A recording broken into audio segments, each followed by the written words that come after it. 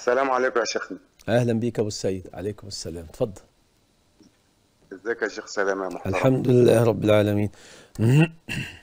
سؤال وعايز أسأله من حضرتك. صلاة الفجر لما تروح منا نصليها إمتى وإزاي؟ أنا صلاة- الواحد بيقوم مثلا قبل الظهر مثلا أو بعد الظهر. بتقول صلاة إيه؟ سمعتي. يصليها إزاي؟ صلاة إيه؟ صلاة الفجر. آه الفجر. صلاة الفجر يا شيخنا. آه ركعتين آه. الفجر بتسعى على ركعتين الفجر ولا الصبح؟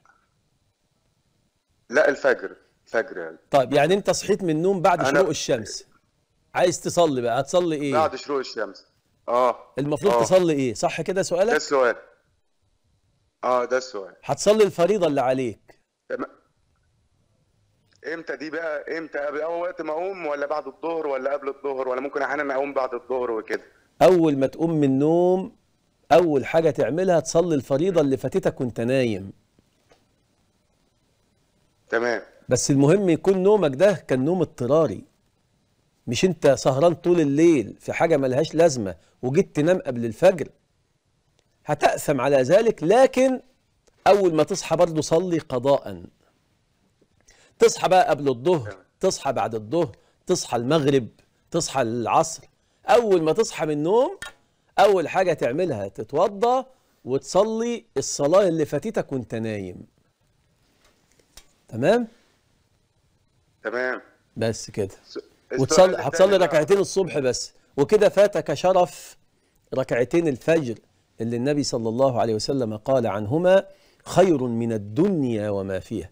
ودول بيتصلوا من أول ما تسمع الأذان لحد قبل شروق الشمس. ده وقتهم. الكنز ده وقته في الحتة الضلمة ده هي قبل شروق الشمس. هتصحى متأخر فاتك الكنز. تصلي بس الفريضة اللي عليك عشان تصليها قضاء فلا تحاسب عليها. اتفضل تمام. أنا كده كده الحمد لله الحمد لله يا رب الحمد لله ربنا يديم علينا نعمة بنصليه في وقته. بس إحنا الحمد بنتكلم في في الظروف اللي طارئة.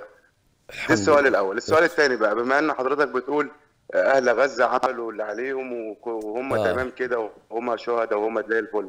إحنا بقى المفروض إحنا علينا إيه؟ هم عملوا اللي عليهم وكتر ألف خيرهم ويشكروا على اللي هم عملوه من أجل الدنيا بحالها مش من أجلهم هم بس من أجل الدنيا بحالها مم. إحنا بقى نعمل إيه؟ ده أنا ندعي نقاطع نعمل نقول ال- ال- الحاجات اللي أنت حضرتك قلت عليها قبل كده. برضه أيوة. ما فيش ناتج. إحنا برضه حاسين إن إحنا مقصرين مع الناس دي ومش في ايدينا حاجة نعملها. اولا إحنا هن- هندعمهم إزاي؟ وإحنا أصلا مش عارفين ندعم نفسينا. تمام. يعني خلاص. إحنا في إحنا في بلدنا أهو مش عارفين نتكلم مش عارفين نك... نقول بم حتى. البم بياخدوك آه، ما انت انت عارف أكتر من اي حد. تمام. الكلام لما بنيجي نتكلم حد يقول لك وطي صوتك لحد يسمعك. خلي بالك لحد يسمعك.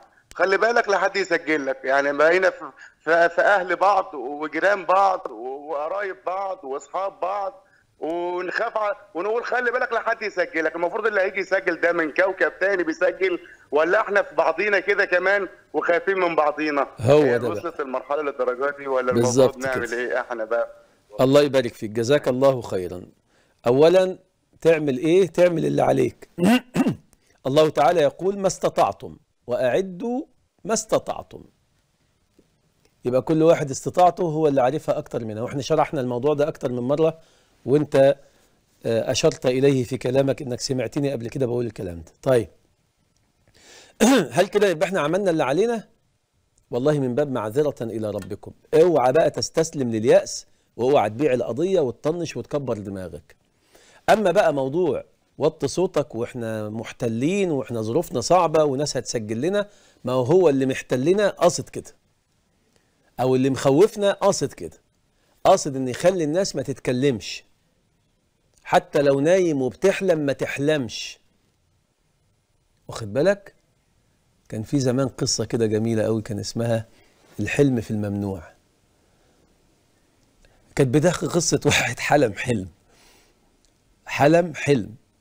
فكان قاعد آه، راح تاني يوم الشغل فحكى الحلم لزميله في الشغل فزميله بلغ عليه فجم قبضوا عليه وحققوا معاه عشان قالوا له أنت حلمت بإيه؟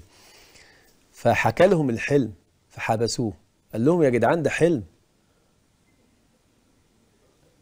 واخد بالك؟ فهو دايما كده. الاستبداد والظلم والقهر اللي, اللي بيبقى ال- الحاكم عايز يفرضه على شعبه عشان يبين لنفسه إن هو بيحكم لازم يخوف الناس من بعضهم. لازم يحسسك إن أنت متراقب 24 ساعة. يخوفك. يقول لك اوعى اوعى تتكلم. مرة كنا كنا أنا اتحبست في عهد مبارك مرتين. فكانت في مرة منهم كنا في سجن وقاعدين ومجموعة كده أربعة أو خمسة وفي زنزانة ضيقة جدا يعني. فقاعدين بنتكلم. لا والله كنا أكتر كنا تم... كنا عشرة. فقاعدين بنتكلم فقام واحد من قال يا أخوان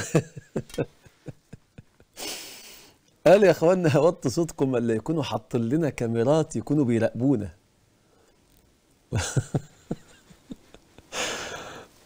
قلت له يا شيخ فتحي طب وبعدين؟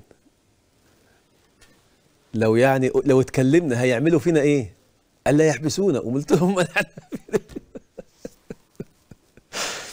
الراجل اللي لحظة كده نسي إن هو محبوس كان فاكر إن إحنا قاعدين في كافيه ولا حاجة. يلا خير. عموما شر البلية ما يضحك والله. وكم فيك يا مصر من المضحكات؟ لكنه ضحك كالبكاء. معنى